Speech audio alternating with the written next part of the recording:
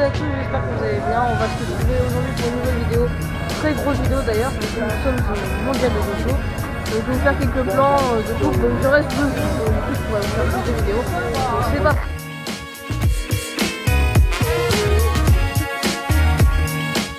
Je vais faire les choses qui m'intéressent sur les stands, parce que je vais pas vous faire tous les stands, donc là vous voyez, donc là on a le Hyundai Nexo, donc euh, donc c'est une voiture, il me semble qu'elle fonctionne à l'hydrogène.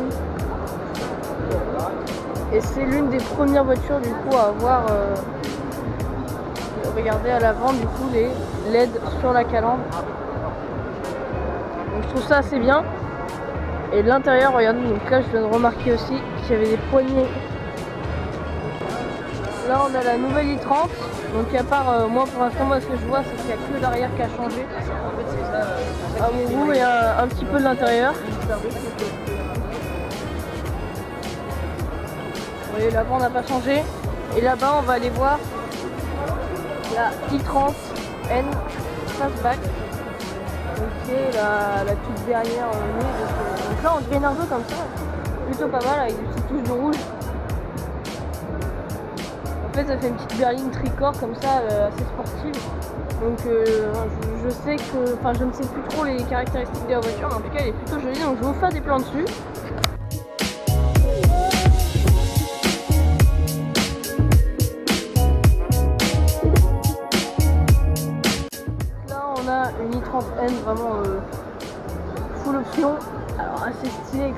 Carbone et le diffuseur en carbone bien sûr. Donc j'ai encore jamais vu cette version, les jantes chrome. Elle est, elle est vraiment full carbone. Oh là là, l'avant est très sportif. Vraiment très très sportif. Donc je viens juste de remarquer ce magnifique concept car.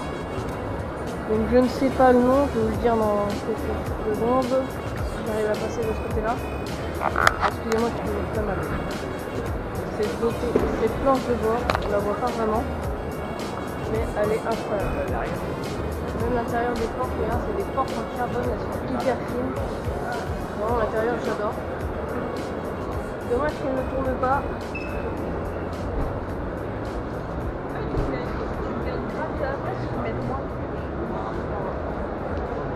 Et l'arrière, bon, l'arrière assez vide, j'ai l'impression. Les euh, j'arrive pas à voir où c'est. Et regardez, je sais pas si ça rend bien en vidéo, mais en tout cas on voit qu'il y a un effet arc-en-ciel sur la, sur la peinture de carrosserie. On a un concept car assez bizarre. Donc en fait je pense que c'est pour expliquer euh, les traits de la carrosserie. C'est assez bizarre. Et là regardez je vous montrer. Franchement, euh, je, je, vraiment j'aimerais que j'ai des avants de voitures vraiment comme ça qui sortent. C'est vraiment stylé. Et l'arrière vraiment j'aime beaucoup.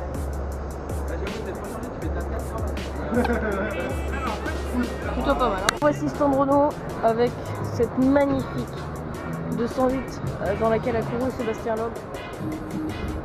Vraiment plutôt stylé. Maintenant on va aller voir les nouveautés du stand. Voici la Peugeot Legend. Vraiment incroyable comme concept. Moi c'est nous coup de cœur du salon.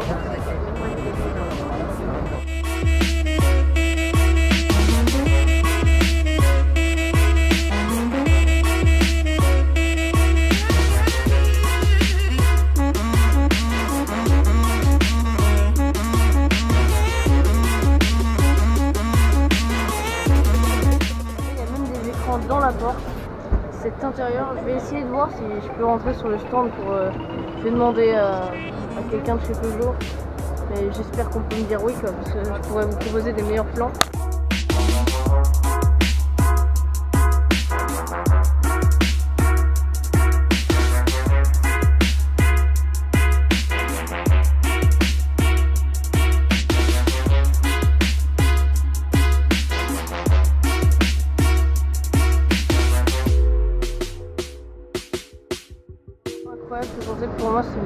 concept de, de cette année vraiment.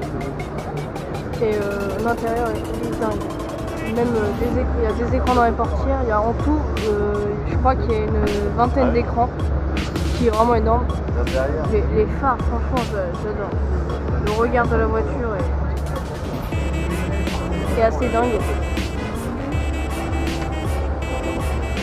Et voilà, Peugeot il est en direct du Mondial de Paris. Voici donc la Peugeot 138 J'étais là, non, c'est pas la break. La break est juste ici. Excusez-moi. La break est juste ici, donc nouveauté. Donc nous on avait vu le concept euh, l'an dernier à Paris, du coup. Euh, donc on était fait car. Je trouve le style vraiment euh, très joli. J'en ai croisé une tout à l'heure en, en route au mondial. Elle fait vraiment peur quand on la regarde de face, c'est incroyable.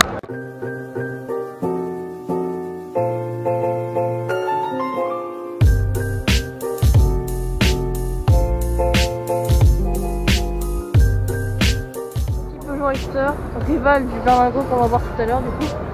Et ici du coup son concept, le euh, alors je vais vous dire le nom, c'est le Rifter 4 Concept. Donc euh, c'est plutôt sympa comme euh, ce qu'ils ont fait. Vraiment plutôt sympa. Hein. Si un jour il y a une config un peu comme ça, un peu baroudeuse, je dirais pas non. Franchement elle pourrait être sympa. Le stand Peugeot c'est fini pour nous. Maintenant on va aller pas sur le stand Renault, on va aller sur euh, Citroën et DS.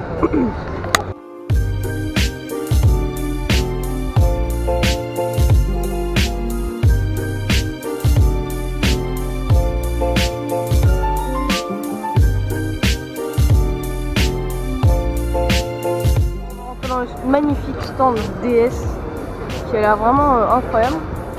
Donc il y a quelques concepts, hein, euh, je précise. Donc stand magnifique chez DS, il y a beaucoup de monde. Il y a le nouveau DS3 Crossback que je vais vous montrer tout de suite. Voici la face arrière donc du, du DS7, du DS3 pardon, du DS3 Crossback. Et là c'est la version euh, hybride rechargeable, donc le e-Tense. Comme le, concept e-Tense qui était sorti, donc qui était totalement électrique là-bas j'ai remarqué qu'il y avait quelque chose de très sympa. On va aller voir l'avant. L'intérieur En blanc comme ça. J'ai peut-être essayé de monter dans, dans un DS3 Crossback pour vous montrer. Et là donc on a des LED en virgule, en forme de virgule, mais qui rappellent aussi le D de DS. Enfin dans l'autre sens du coup. Moi je trouve que le style est assez sympa avec la petite encoche des phares. Et regardez on a une lumière rose comme sur le DS7, le DS7 Crossback qui était. Euh, quand on verrouille le DS7 Crossback, ça devient rose et les phares euh, se pivotent. Donc là, là franchement en bleu il claque. Il y a vraiment beaucoup de monde sur le stand. On va aller voir l'intérieur. Pour, euh, alors regardez les portières, donc c'est des portières qui sont incrustées à la porte. Comme chez Tesla, et regardez quand on les ouvre. On va aller voir la place à l'arrière. La porte est plutôt légère et je vous montrer vite fait l'intérieur. Il y a un vaisseau DS assez bizarre. Et donc on va aller voir vite fait sur la version qui est exposée euh, juste ici. Pour vous montrer un peu mieux en détail et pour faire les banques, hein, ce sera mieux déjà il y a énormément de lumière, vraiment énormément. Là c'est la finition opéra avec un bleu canard. Ouais c'est un bleu canard. Bon ça ne peut pas dire plus non plus.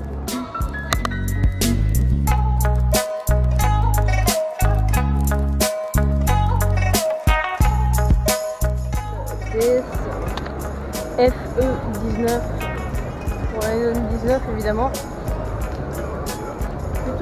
hein, la couleur qui va bien avec le DS. Regardez, là on voit mieux la face avant du On va aller voir le concept, le.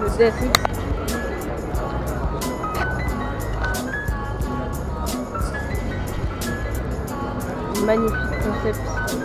Et DS, c'est les seuls à faire du coup de la plume, de la plume de canard qu'on voit juste là, des petits bouts comme ça que vous voyez. Donc c'est en mal en vidéo, mais regardez normalement là-haut, c'est de la plume de canard.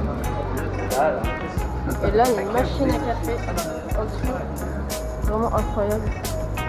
Et en fait, ce concept,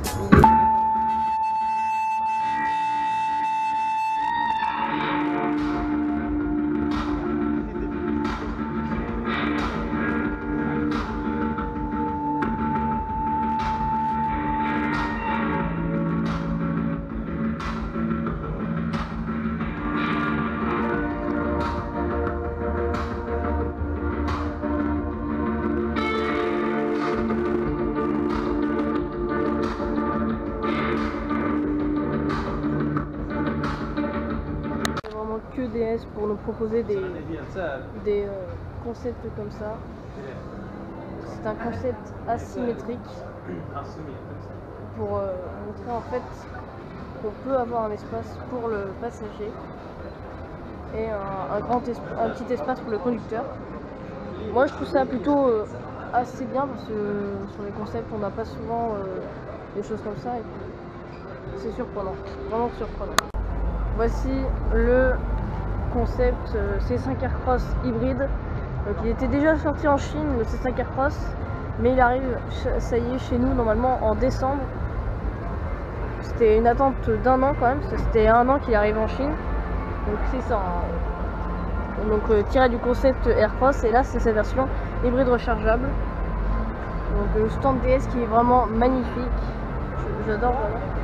Et maintenant, on va voir euh, vite fait ce qu'il y a dans euh, le petit rallye, le petit côté rallye. la Citroën C3 WRC, donc, qui avait été présentée il y a deux ans au mondial, donc en 2016. Ça fait plaisir de la revoir. Sébastien Loeb a couru avec filles et donc on va aller voir, euh, on va faire des petits plans de coupe sur le C5 Aircross tout de suite. Voici le C5 Aircross.